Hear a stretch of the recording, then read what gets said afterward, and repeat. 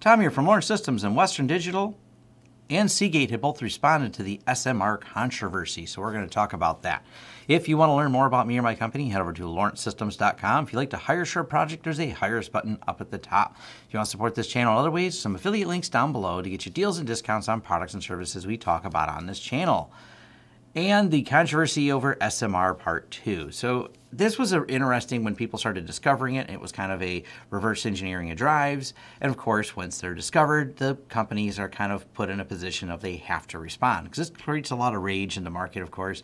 Uh, and the short of it, if you didn't watch the other video, it's really simple. If you have a drive that has the SMR feature, and you are using it in a RAID array and you go to rebuild that RAID array or something happens and you have to replace a drive, the SMR may cause so much pausing due to the way the writing goes and the slow read and write speeds of an SMR drive, specifically slow write speeds, uh, you may fail, that system may fail to rebuild the drive. I've seen someone comment, uh, well, more than one person comment, reach out to me and ask, like, well, shouldn't you know you redo whatever insert name of your favorite RAID system you have these in? Shouldn't that be a firmware update to the RAID system or a design update to them in order to do it? I'm like, no, no, no. RAIDs are not designed to have long pauses. Uh, that would just not be good. So it is proper that the RAID systems fail these drives out if there's a rebuild problem. The problem really lies in the fact that you shouldn't use these in a RAID.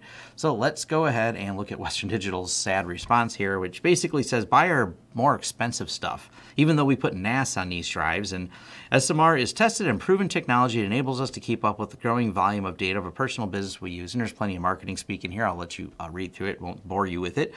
In short, though, what they're saying is buy our more expensive stuff, like the WD Red Pro or WD Gold drives. So it sounds like this only affects the ones that are labeled WD NAS, and despite their label of NAS, uh, they stand by that these drives are okay to use. But, uh, well, the angry people and all the people have testing problems and have watched these drives randomly fail out and cause hours of troubleshooting, they have something different to say about that. But this is Western Digital's response, uh, like it or not. I personally don't care for it. Uh, that is what they're doing. I think these drives should have been clearly labeled from the beginning. Seagate. Well, they had a little bit different response. Seagate says network attached storage and SMR don't mix. Good. Seagate made a stance on this, except uh, Seagate's answer is if you're using some of these drives, they may or may not be labeled as SMR unless you get our, and I have one right here, you know, for example, they're actual Iron Wolf drives. So they're Iron Wolf drives, which are truly their, you know, better, higher quality NAS drives are the ones that do not have this in there. So that's great. I just wish these companies were extremely clear. Like, just put a sticker on it, guys. It's not hard. Uh, that way we know. And obviously, the reason they don't is because if us as the consumer of these products knew this piece of information, we would avoid that particular product. But that means, well, that they would lose sales, so they're not ready for that. Uh, but the it's not like we wouldn't have ever figured out. Uh, they were probably just hoping no one ever filled up their drives because you know no one ever buys a NAS and actually fills it up and then has to resilver one, right? Well, anyways, back to Seagate's response. Uh, this is what I like over here in this particular article of Ars Technica. There's a lot of wiggle room in here, and this is referring to their statements. Uh, we published uh, on, when we pushed on the issue of the SMR drives in Seagate's desktop channel, he told us Seagate didn't feel the need to break it out in that channel. And this is the part that is obviously really annoying in terms of that. So, you know, they're saying that yes, they're Iron Wolves, uh, and specifically those drives are not SMR. So that hopefully will, uh, you know, if you have a Seagate, if you already went with the Iron Wolf, good. If you didn't, um, well, the controversy is going to continue while we try to figure out exactly which models are and are not because it's not being clearly labeled. But what hard drives do you buy? And that's why I like to reference this. So this is a blog post uh, by Backblaze. I've covered these before. Backblaze hard drive stats for 2019. This one in particular was published on February 11th, 2020. And Backblaze just hands down has the best drive reporting I've ever seen. And let me explain why. So one, they may not have the drive you want, and they have an entire explainer for how they buy hard drives and why they may not have the drives you were particularly looking for that you were hoping they reviewed because of the bulk purchases they make.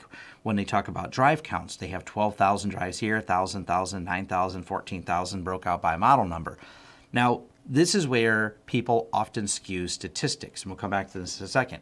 And I see people complaining, I had a lot of failures with these drives, or especially technicians, and even my own technicians have certainly fallen into this. It's a misunderstanding of how people handle statistics. Let's say we fix, and we do, we fix a lot of computers, and we see a lot of failures with a particular drive. The only way you can really say that that drive fails a lot is if you have the whole market statistic for it. So if there were an equal number of two different brand drives, let's say we 10,000 uh, Western Digitals and 10,000 Seagates, equally distributed amongst systems, and now we have a failure rate that we can track. That would be great. What we don't. Well, usually what happens is a drive has a really good price and price performance, so a quantity of them are brought out to the market and sold. And they end up making up the majority of a certain year, perhaps, of that channel. Where like, wow, there's this many drives installed, so they're very frequently the ones you find in either desktop computers or in you know commercial equipment. Whatever that product line was, it was the great price performance, so they bought it. Therefore, the most likely ones to fail are the ones that have the majority of the market. You don't have the other side of statistics. And this is something I really uh, have people look at because also people only call you with the failures if you're dealing with that versus the people who didn't bring it in, it didn't fail, so now you don't have that other side statistic as well. You can see how this can get a little bit complicated really quick, but understanding stats is really important. And just because there's a lot of them in the market or a lot of people posting in a forum, oh, I had this one fail, but you look at just how many of them were, were in the market of that particular model, and unless you know how many of the opposing ones didn't fail and were the equal number installed, it's hard to get a statistic unless you're Backblaze. Then they have some really good information here. A couple things that of note. Drive count. How many drives are out there? Drive days. They have a whole breakdown how they calculate that, but these are, you know, cumulative time the drive is running. Because obviously saying I have 12,000 particular drives, but they haven't been running for very long and they didn't fail doesn't give you the failure rate. And even then, it's hard to really, you know, get a good average until you've seen something along the lines of the 12, 12 million hours of running on this particular Seagate. And yeah, we do see a higher failure rate. Now, obviously just the number of days running means you're going to get a higher failure rate because as drives age out, they fail more. So it's not like you instantly can look at the Seagate model going, that one, that's the one that must be a terrible product to buy.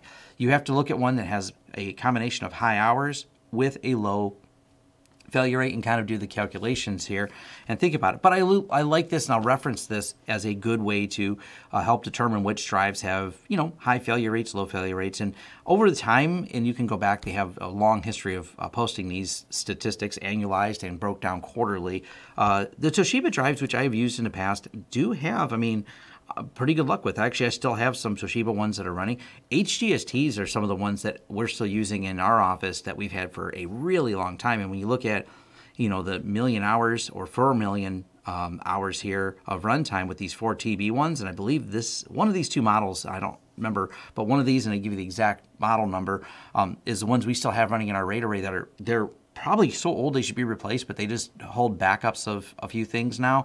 Um, but that array is still working. Like I can't remember how many years ago we installed it, but we've never had a drive fail in it. And these are one of the ways we use to choose those drives.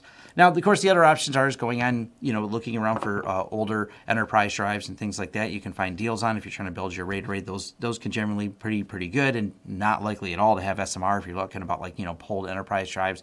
And finally, the last thing I'll talk about is hard drive shucking. I actually think this SMR technology, because the hard drives that you uh, can get super good deals on because they're encased in USBs, that is probably going to end this as I have a feeling that the majority of those drives, if they're going to stick something in the channel that they said it's not designed for RAID, uh, it's probably going to be the ones that are single drives in USB enclosures that you can find great deals on. And there's a lot of other YouTube channels um, that have covered this and just people in general like, hey, look, I found a deal on all these USB drives. Let's shuck them out and build my RAID array with them. Um, and I've seen everything because I think they've even tried to disable it. And if I'm not mistaken, there's a couple pins that you have to uh, to get them to work in a desktop. I was watching some videos on this a while ago. It's not something I actually have done, but I people have asked me about it, and I'm completely aware of it. But I have a feeling this will end it because those drives are most likely now to be the SMR drives and very uh, unfriendly, as we know, to RAID arrays, so they may not be the best place to store all of your data, despite their very, very tempting prices uh, of doing that. So uh, this is just a follow-up on that, so I think this is interesting. I'll leave links to all this so you can do further reading and uh, figure out where to get some drives. I still like the Backblaze report because I think it's probably the best way to get a good statistical analysis of drives and their overall failure rate, and Backblaze has got a lot of interesting articles on this topic, and um, not just the drive reports, but you know how they build them. You can really dive into uh, all the numbers, but uh, good luck finding hard drives, and I, yeah, sad answers on Western Digital and Seagate. Sounds like SMR is not going away, and uh, for those of us that are looking for, you know, reasonably inexpensive storage for, for our data hoarding needs, it's going to get a little bit tricky out there. Thanks. And thank you for making it to the end of the video. If you like this video, please give it a thumbs up. If you'd like to see more content from the channel, hit the subscribe button and hit the bell icon if you like YouTube to notify you when new videos come out. If you'd like to hire us, head over to lawrencesystems.com, fill out our contact page, and let us know what we can help you with and what projects you'd like us to work together on. If you want to carry on the discussion, head over to forums.lawrencesystems.com where we can carry on the discussion about this video, other videos, or other tech topics in general. Even suggestions for new videos, they're accepted right there on our forums, which are free. Also, if you'd like to help the channel out in other ways, head over to our affiliate page. We have a lot of great tech offers for you. And once again, thanks for watching and see you next time.